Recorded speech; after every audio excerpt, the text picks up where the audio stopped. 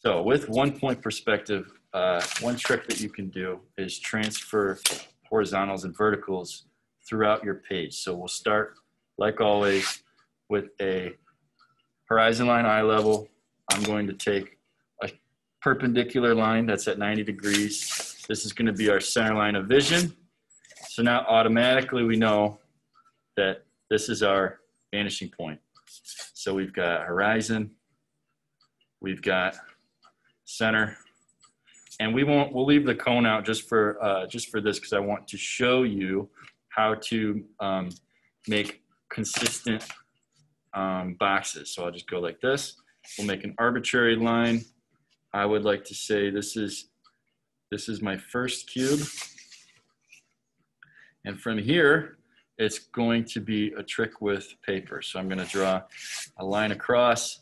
What I wanna do is I wanna take this height, because we can see the full face of the cube, I wanna take this height, I wanna transfer it down to the bottom, and now I have an absolute um, width for my one point. So I can transfer this up, I'll draw the top of it, and we have a full square. I'm just going to translate these lines across. Now, what I wanted to show you is if we wanted to create equal diminishment, I'll take the piece of paper, I'll say, here's the width of my square. We'll add a little bit of breathing room in between. And so now that I've got this um, relationship, I can transfer it over. I can put a little dot I can put another dot and I can move it over again. I can kind of duplicate these objects. And now what I can show you is because we have this measurement, I'll just, I'll do it quick. I'll go like this. I'll line up my square with this, and I just want to march around and get, bam, Bam. So if we were drawing a series of columns in a row and you wanted equal spacing and it's all one point perspective, this would be a great way to do it. Um, so we've got three in a series and now all I have to do is send um, my obliques back to the vanishing point. So real quick, send them back. So We've got all of our diminishment correct. And at this point, what I want to do is determine the depth of my objects. So I will just say, here we go, here we go, here we go. So now how do we find these kind of unknown variables? Well, we know where the corners are and they absolutely have to track uh, perfectly vertical. So I know where these line up. First, I'll get the bottom situated. And because we're drawing volumetrically, we're gonna draw through.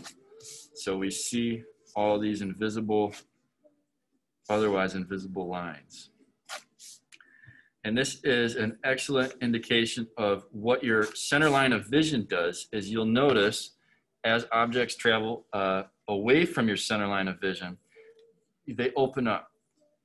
Um, for example, directly on top of, it'll be flat, slightly to the right, and it'll hide that face. And as you travel farther, um, you'll see these different elements of the cube. So the last thing that I would do to this is go around, um, fill in the blanks with whatever lines you're missing. So mostly Right now we're missing a couple verticals, so we just translate those down because we know what those are. Once I hit this corner where I know uh, the vertical converges with uh, the edge, I can just strike a horizontal line. And because they're all consistent and it's one point perspective, everything will line up.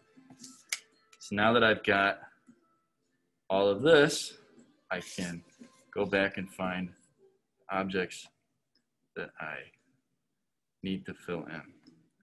So I got a little squirreliness happening here. Bam. Bam. This got away from me a little bit, but I can always correct it. And what will happen is these lines will all converge. So if you need to figure out where one angle is, start with what you can see and work your way backwards. Now the last thing I'm gonna do is just add a little bit of line weight for atmospheric perspective. Essentially, um, heavier lines, more contrast will be up front and uh, lighter lines indicate uh, receding into space. So I'll just do this real quick. Bam, bam.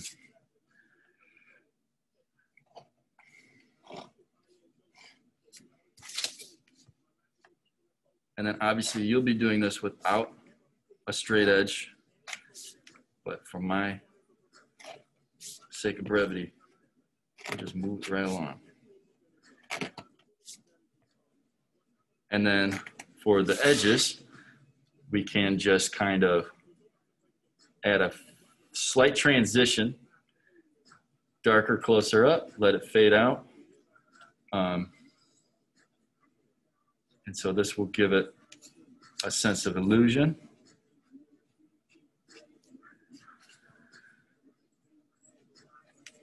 And there you go. You've got three consecutive objects.